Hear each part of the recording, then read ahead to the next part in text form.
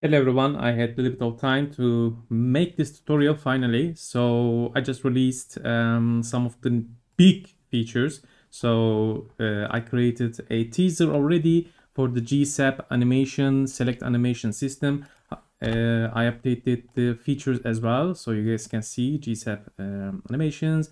I'm gonna update this list because I already removed and changed some of the animations. But this gives some idea how many uh, uh, different animation presets or utility presets exist here. So not all of them just makes the animation, but changes the animation in a way so you can set up anything you want. Okay, so let's see how it works. I create this example. So there are some container buttons. By the way, the system works with the section container block or div. And these are the elements we use all the time to build the websites.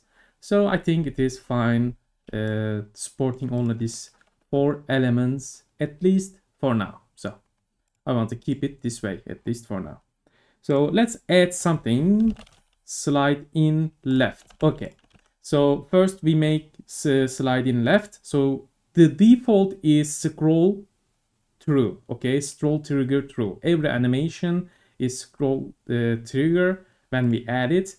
If we want to make it scroll trigger false, we just need to add the scroll trigger false and it will become a entrance animation. Like the moment you open the page or refresh the page, the animation will play, okay? And actually, we can even make loop animations. If you make scroll false and loop true, it will just loop the animation again and again and again. You can change the duration as well. We can make it really fast or really slow or yeah i added some durations like for now i added these presets. Like if you guys think uh, adding more will suit the uh, some purpose i don't know some edge cases uh, tell me about it okay? And let's disable the scroll false. I want to stay on the scroll trigger a bit more. Let's add the markers uh, when you make uh, scroll trigger animations. I would recommend like adding a marker so you know where when it starts, when it ends. Like this page is empty, but when you have like tons of designs around it, uh, you need to know like you need to align some stuff, right? So when green touches green, start touches start, uh, end touches end. That's where the animation happens. And we can change this as well. For example, let's say I can move the start really late, but it doesn't even make sense. We want if we want to move the start early, we want to make this scroll start scroll, scroller start go down. Okay, that that means start early. Okay, so for that, just make the start, let's say 90%. This will go down and the animation will start really early. Okay, and if you want to make it uh, end really late, same thing, uh, like opposite side scroll scroll red n needs to go up here okay? So so it ends late or early. I mean it, it depends on your setup. And for that we, let's make it 20 percent and this red will go up. Let's make it 10 percent actually. And 10 percent okay. Nice. Maybe i should add the zero percent as well. I, I, I am still like uh, working on these presets. Let's see for example, maybe this 0% needs to exist as well. Why not? On some edge cases, it might, it might, uh, we, we may need it. Yeah, definitely. Okay, so as you guys can see, this scroll trigger, easy to set up. You don't need to code anything. You don't need to like uh, work with like nesting and stuff. Like I, I still do think like these elements will be useful for some edge cases. I because I am I know from myself like I'm using time to time, but this new system is amazing. Like because it is so simple, it is so easy to use. You just need to select your animations and set it up. That's it. And after you are done with the animation, you can just remove the markers. That's it. And your animation is ready. Great. Perfect. Now we can make like tons more by the way. For example, let's let's uh, remove this start and let's add the markers again. This time I'm gonna add stagger so we can stagger some stuff. For example, if we, uh, we, we added the stagger on container, okay? And we have uh, child elements. This could be like container, rich text, whatever, all element type, doesn't matter. First child element, right? Let's see. Now all of them will come one after another because we added stagger. So if we make the stagger less, let's do it like that. I think that's it. Yeah, they will be a little, little, bit closer to each other. Nice. Let's make the start and start on the middle. Yeah, let's make it default. Look at that.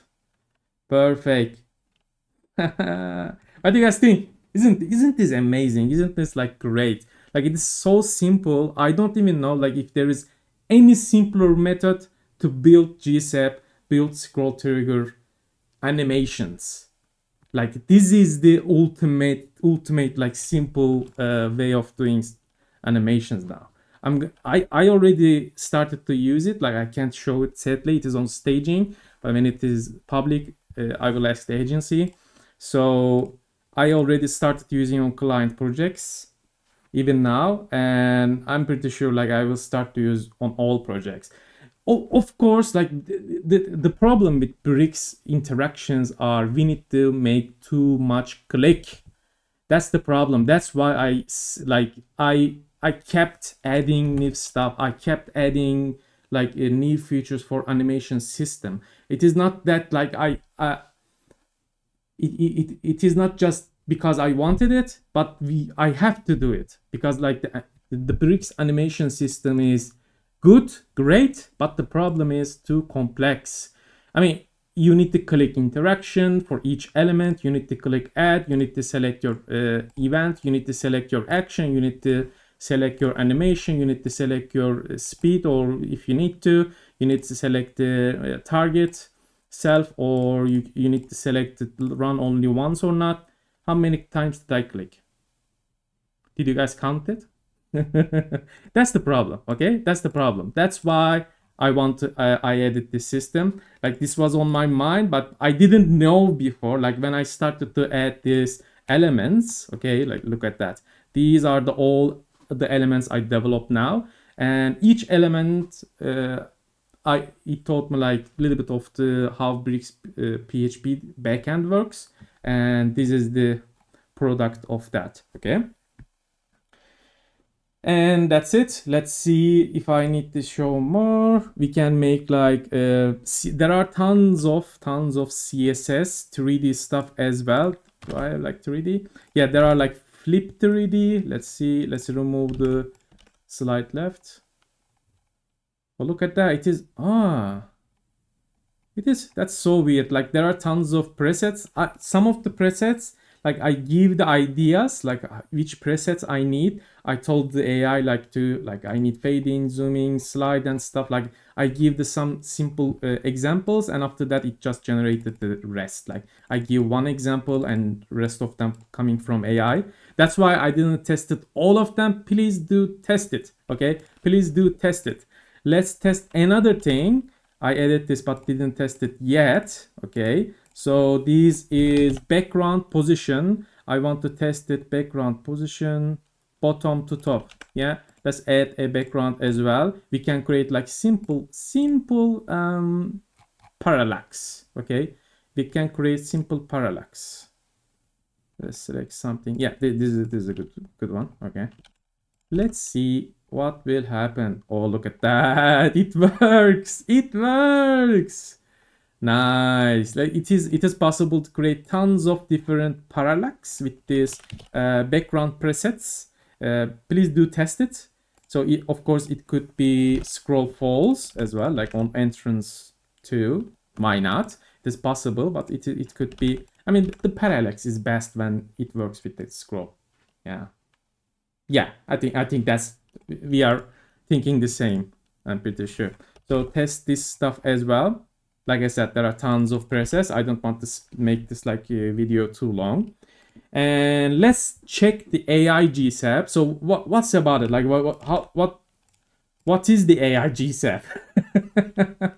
Weird, isn't it? So let's add um, some section. Let's give some space as well so we can see the animation.